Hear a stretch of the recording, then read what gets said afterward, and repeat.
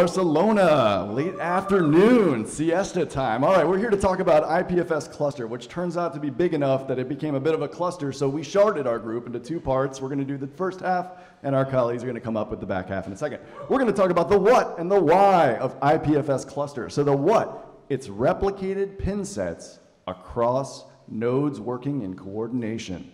Why?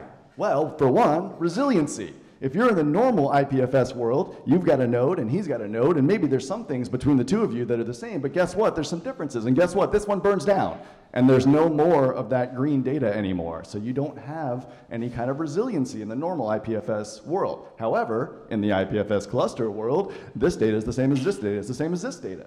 And so this one burns down. The data still exists in the other two clusters.